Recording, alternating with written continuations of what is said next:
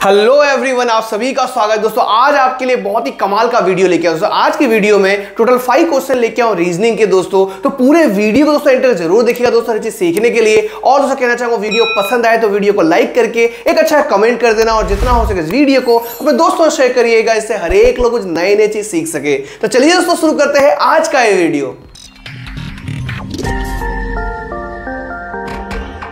तो चलिए दोस्तों, आपके लिए पहला क्वेश्चन लेके आओ। देखिए दोस्तों, ऐसे क्वेश्चन एग्ज़ाम में आ जाए तो कैसे सॉल्व करोगे? सबसे पहले करना क्या होता है दोस्तों, यहाँ पे जो लेटर दिए हुए हैं, उसे काउंट करना है। और साथ ही साथ दोस्तों, जो डैश दिया है, उसे भी काउंट कर लेना है। तो यहाँ पर देखोगे one two three four five six seven eight nine ten eleven twelve thirteen fourteen fifteen total fifteen है। तो यहाँ पर आप फिफ्टीन लिखोगे, और फिफ्टीन को कैसे स्प्लिट करोगे? यहाँ पर इस तरह से स्प्लिट करोगे फाइव मल्टीप्लाई थ्री से स्प्लिट कर लोगे, क्योंकि फाइव थ्री से कितना होता है? फिफ्टीन होता है। अब क्या करोगे यहाँ पर? One two three four five तो यहाँ कट कर लीजिए one two three four five तो यहाँ पर कट कर लिया ठीक है यहाँ पर कट कर लिया आगे देखते हैं हम लोग यहाँ पर one two three four five हो गया अब ध्यान से देखोगे दोस्तों लॉजिक समझने की कोशिश करोगे तो यहाँ पर देखिए ई दिया हुआ है ठीक है यहाँ पर देखोगे ई दिया हुआ है राइट तो यहाँ पर क्या होगा यहाँ पर ई होगा एकदम क्लियर हो गया अब देखो दोस्तों यहाँ पर ई है ठीक है और यहाँ पर एफ़ है तो यहाँ पर ई है तो यहाँ पर एफ़ आएगा राइट और ये डी दिया हुआ है देखिए मैच हो रहा है मैच हो रहा है अब देखोगे दोस्तों यहाँ पर डी है और यहाँ पर पी है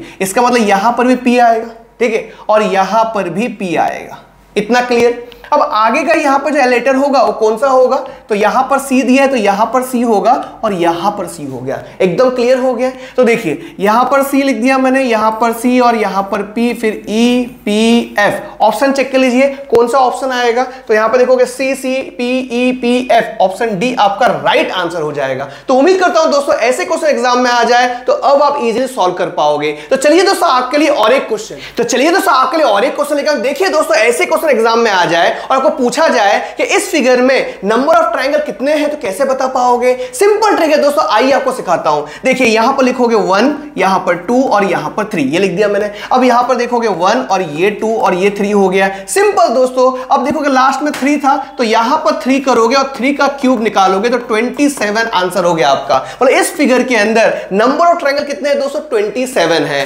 एकदम सिंपल क्वेश्चन है दोस्तों। ऐसे एग्ज़ाम में आ जाए तो अब आप इजी सॉल्व कर पाओगे। तो चलिए दोस्तों, आपके लिए और एक क्वेश्चन तो चलिए दोस्तों, आपके लिए और एक क्वेश्चन लेकर देखिए दोस्तों, ऐसे क्वेश्चन एग्ज़ाम में आ जाए तो बहुत ज़्यादा टाइम वेस्ट होता है इसे सॉल्व करने में। लेकिन दोस्तों, अगर आप लॉजिक समझ लोगे ना तो सिंपल तरीके सॉल्व कर सकते हो। क्या करना होगा, देखिए, यहाँ पर सिक्स दिया है यहाँ पर तीन नंबर दिए, ठीक है? तो एक काम करता हूँ मैं, इन तीन नंबर को मैं प्लस कर लेता हूँ एक दूसरे के साथ, ठीक है? अब देखो ट्वेल्व प्लस एटीन कितना होगा? थर्टी होगा और थर्टी प्लस थर्टी कितना होगा? सिक्सटी होगा, ठीक है? यहाँ पर सिक्स लाना है मुझे तो क्या करूँगा मैं? यहाँ पर डिवाइड बाय टेन कर दूँगा मैं। तो क्या होगा? टेन सिक्स कितना हो जाएगा? सिक्स हो जाएगा तो यहाँ पर सिक्स आ गया यही लॉजिक को यहाँ पर यूज़ करता हूँ मैं। तो आप देखोगे 16 प्लस 24 करोगे तो 40 मिलेगा और 40 को दोस्तों 40 से प्लस करोगे तो आपको 80 मिल जाएगा। देखिए 8 मुझे लाना है तो क्या करना होगा? डिवाइड बाय 10 करना होगा। तो देखिए, ये लॉजिक सेट हो गया है। तो यहाँ पर लॉजिक सेट हो गया है तो इसका आंसर भी हम इजीली फाइंड कर पाएँगे सेम लॉजिक से। तो एक काम करता हूँ, इन तीनों को मैं एक दूसरे के साथ प्लस कर लेता हूँ तो मुझे मिलेगा 90 मिलेगा। यहाँ पर भी 10 से डिवाइड किया था, यहाँ से भी 10 से डिवाइड किया था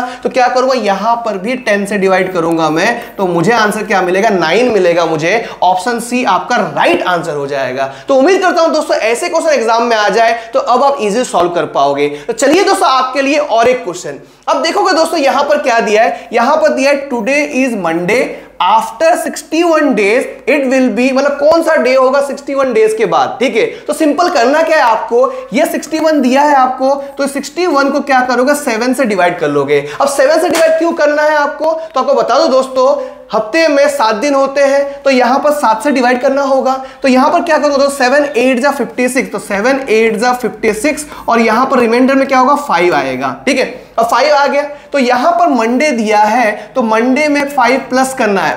प्लस कैसे करोगे? आइए आपको बता देखिए, यहाँ पर one two three four five तो यहाँ पर मंडे दिया है तो क्या होगा? ट्यूसडे उसके बाद वेडनेसडे थर्सडे फ्राइडे सैटरडे मतलब दोस्तों इट विल बी क्या होगा? सैटरडे होगा। मतलब ऑप्शन बी आपका राइट आंसर हो गया। 61 डेज़ के बाद क्या होगा? सैटरडे होगा। जैसे कि सभी लोग जानते हो दोस्तों स्टैंडर्ड के एग्ज़ाम करीब आ गया और स्टूडेंट दिन रात मेहनत कर रहे राइट लेकिन वो मेहनत सही से कर पा रहे कि नहीं कर कर पाए कैसे पता चलेगा? तो वर्कशीट सॉल्व करने से पता चलेगा। तो आपके लिए दोस्तों ओसवाल के ये बुक लेके आए दोस्तों, इस बुक के अंदर तीन सब्जेक्ट का वर्कशीट इंक्लूड किया है। जैसे दोस्तों साइंस मैथ्स और सोशल साइंस और दोस्तों, ये जो बुक दोस्तों, जो सीबीएसई e ने लेटेस्ट अपडेट किया है, उस अपडेट के हिसाब से बुक को डिज़ाइन किया गया है। और दोस्तों, आपको इसमें क्या मिलेगा आपको? Includes progress check for self evaluation और दोस्तों, यहाँ पर assertion reasoning question case based study question MCQ और हर एक चीज़ दोस्तों डिटेल में मिल जाएगा। और दोस्तों, इसके अंदर दोस्तों, हर एक चैप्टर का वर्कशीट बहुत ही अच्छे से बनाया हुआ है। तो अगर आप ये बुक परचेस करना चाहते हो तो डिस्क्रिप्शन में लिंक दिया है। आप जाके परचेस कर सकते हो और एग्ज़ाम की तैयारी आप अच्छे से कर सकते हो।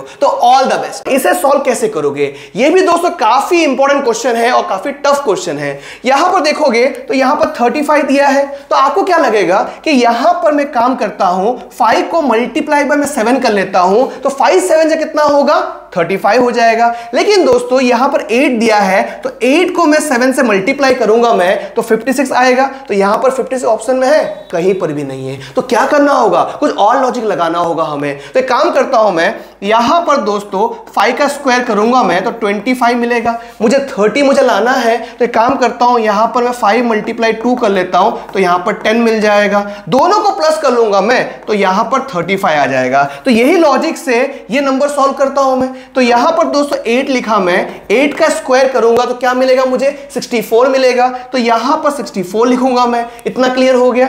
अब मैं क्या करूँगा? 8 मल्टीप्लाई टू करूँगा तो यहाँ पर 16 हो जाएगा। तो यहाँ पर क्या होगा दोस्तों? यहाँ पर आ जाएगा 80 आ जाएगा।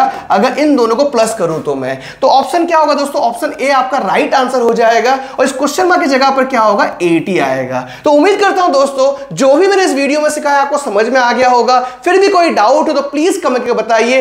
वीडियो कैसा लगा ये भी लिखकर बताइए दोस्तों, क्योंकि आपका एक लाइक आपका एक कमेंट मुझे इतना मोटिवेट करता है कि आपके लिए ऐसे वीडियो बना सकूँ। तो फिर मिलूँगा दोस्तों एक नए वीडियो के साथ, तब तक के लिए सीखते रहिए, सिखाते रहिए, ऐसे ही प्यार देते रहिए। मिलते अगले वीडियो में, तब तक के दुआ में याद रखना। अल्लाह हाफिज।